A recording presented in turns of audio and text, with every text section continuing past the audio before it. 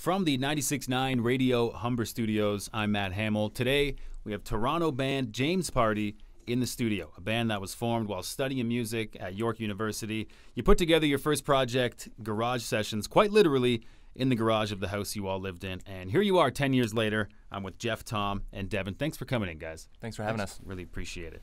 Uh, you just released your fourth full length album, Casual Island. Such a strong album with, with a really cool sound.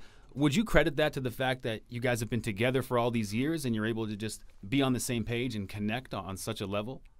Uh, yeah, I think it's uh, with this with Casual Island, it's sort of like a natural progression. If you listen, that you bring now that you bring up garage sessions, you can sort of hear us at our humble beginnings, and then you know we sort of turned a little bit more electric with the the Alone Together EP, and then we had uh, Hot Noise where it was a little bit more of a live band feel, and then you started to get more what our live show was like, and then with Tunnel Visions, we sort of you know added a little more flavors and a little more uh, you know lush uh, soundscape production value, and then with this one, uh, Casual Island, it's just that next natural progression to um, you know.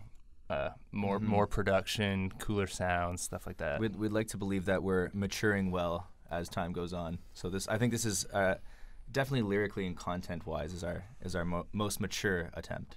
Yeah. At a and record. Do you guys kind of miss the days of being in the garage or are you much more comfortable now in, in proper studios? oh yeah, we we're we're warmer and drier just now.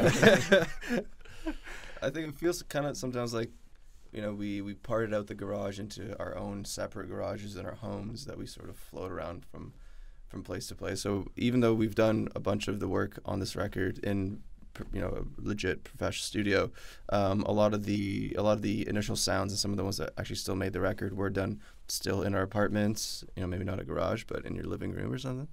Um, and I think that I think it, the the record hopefully sort of retains some of that kind of um, in the moment homemade sort of you know magic.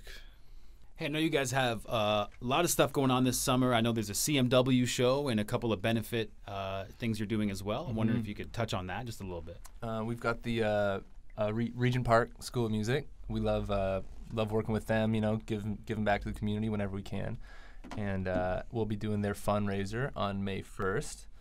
Um, and then we've got a fundraiser in Hamilton on May fourth with our good pals Lowest of the Low, who are absolute legends.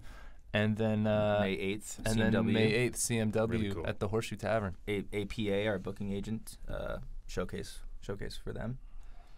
Really cool. Yeah, and then and then some summer stuff too. We Yeah, a couple Dragon festivals in Boat. Festival.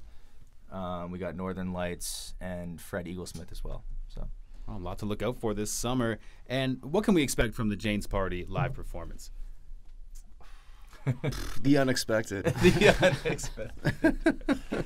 uh, no, you're gonna see four guys, uh, maybe a couple guests, but you know we love what we do. We've been doing it for a while, and uh, you know we love playing music, and we hope that that comes across. You know, over the years, how have you guys developed as live performers? How has that part of what you guys do kind of come along? Do you think? Well, I think you sort of as you play bigger shows or or just different shows, you're sort of palette for handling crowds like that or you know stages like that um, gets gets broader. So um, you know, I think our last sort of test was in Europe, opening for uh, our friend uh, Tom Odell, who who's you know the, the shows there were about three thousand people or so, uh, and you know trying to perform in a in an arena for, for that many people, I feel like you have to work on your thing a little bit. you know, just get comfortable. You know, know what to say, know know how to do the thing. So you know, suddenly, uh, suddenly you grow as a musician that way and as a performer, and then bringing that that experience and bringing that uh, expertise to a smaller stage or, or anywhere else really um, is really great. You can get creative with it. You can sort of draw on that.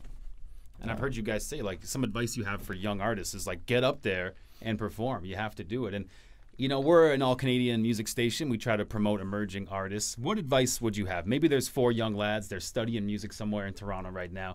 What advice would you have for them as they try to, you know, build a music career and, you know, 10 years down the line be releasing kick-ass albums and, and stuff like that? Oh, Just keep at it, you know. just honestly, we've we've seen so many bands that you know started ten years ago with us, and they've just fallen to the wayside. But uh, I mean, if you love what you do, if you feel like you keep, uh, you know, doing one better with each with each release, I think you're you know you're doing it right. I think playing live too is is is a is a big thing. Um, especially if, I mean, there's obviously those people that go straight from like, uh, you know, a YouTube video or two to like, you know, stardom.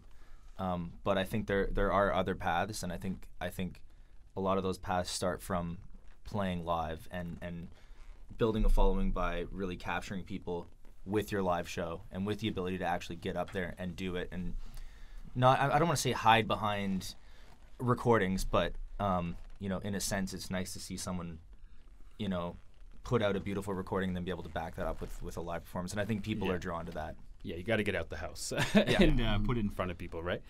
Really cool. Well, uh, Jeff, Tom, Devin, thanks a lot for coming in today, guys. Thanks Really a lot, man. appreciate it. A lot of cool stuff to look out for this summer. You guys are performing all over. It seems like some cool benefits as well. And the new album, Casual Island. I love it. And uh, really great project, guys. Thanks a lot for Thank coming. you. Thanks.